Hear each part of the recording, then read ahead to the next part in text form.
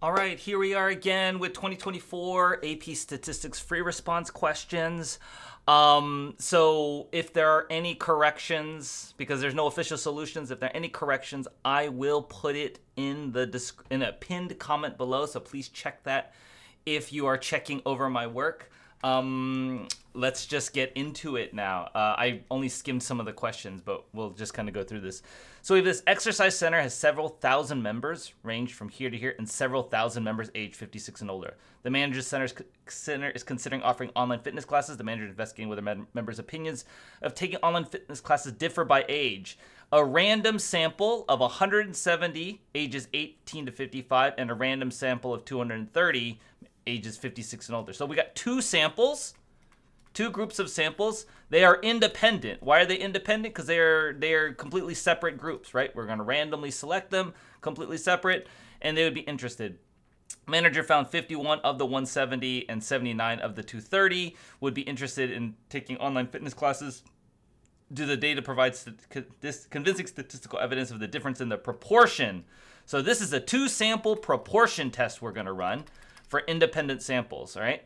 Um, complete uh, would be. Uh, let's see. What do we want to know? Who would be interested in online in the proportion? Who would be interested? Um, in the difference statistical of, of a if there's a difference. So I want to know if there's a difference between the two groups. So um, I like to define these things. So P1 is the proportion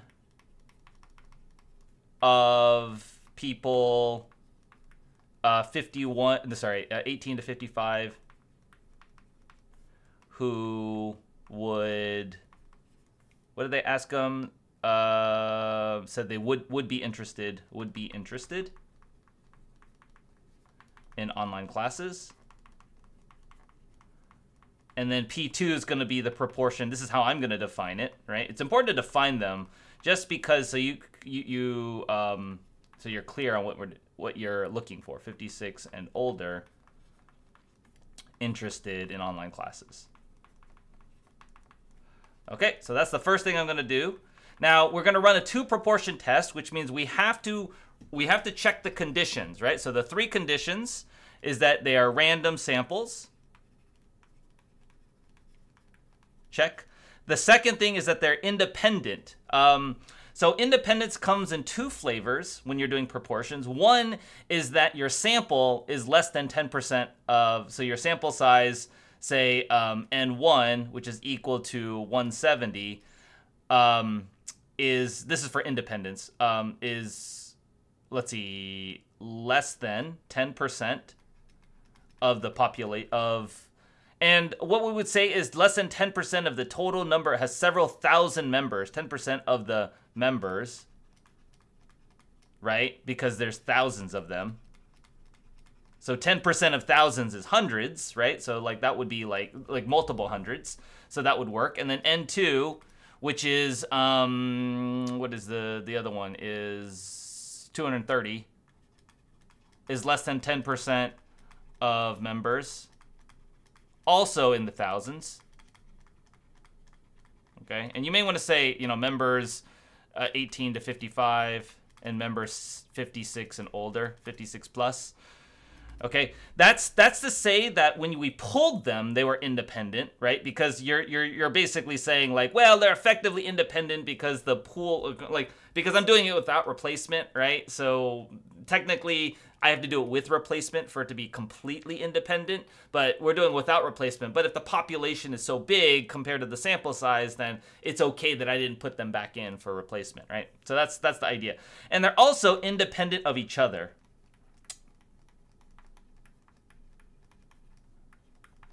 independent samples of each other because they're different groups. They're different groups of people. Okay, so that's the independence.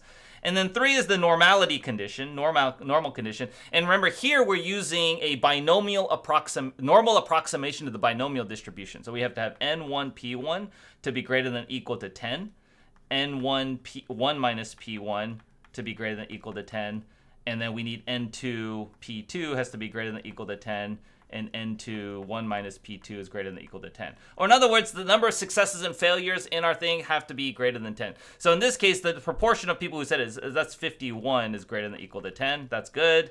Then this one, uh, what's the leftover? 170 minus 51 is going to be 119. 119 is greater than or equal to 10. And then this one is 79 of 2. So 79 is greater than or equal to 10. And then here, 230 minus 79. I'm just going to use a calculator for this so I don't have to my brain isn't totally working. 151 is greater than equal to 10 also. And so we've checked those conditions. So we've checked the random sample, it's independent, it's a normal condition. Okay, so now we're gonna run the actual hypothesis test part, right? And so this is the null hypothesis. Null hypothesis is, well, so what we're trying to show is that there's a difference. All we care if there's a difference. We don't care if there's one is greater than the other. We just wanna know uh, evidence of a difference. So we want P1 to not equal P2, and our default assumption is that it's going to equal P2. So that is our null and alternative hypothesis. And then we're going to um, run, you know, just run a two prop uh, z-test. And then we'll just kind of say some of the parameters that we're going to run here. So, um, so let me do this. So second distribution oh sorry, uh, stat tests two proportion z test. So x1, this is the number of people who, because it's a proportion of people who would be interested, this is the number of people in the first one that is interested. So that's 51. The total out of, of the 170, so 170 is the total. Then this one is going to be 79 out of 230 here. All right? And then we want not equal to, okay? So um, let's just, let's freeze the calculator there. We're going to say x1 is equal to 51, where n1 is equal to 170, x2 is equal to 79, and n2 is equal to 230. And then we're doing not equal to, so then we're going to calculate. We get a p-value is equal to 0.359. And I'm just going to double check that um, just because I've all, I've had areas, two prop z tests this, this, okay, not equal to. Um, so yeah, it looks like I did that right. So the p-value is uh, 0.359, right? And that is greater than alpha, which is, what is our assumed alpha here? Is 0.05, right? So we failed to reject, so there is not enough evidence to say, to, to conclude there is a difference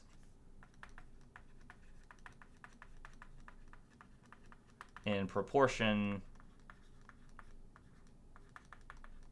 of exercise center members, exercise center members.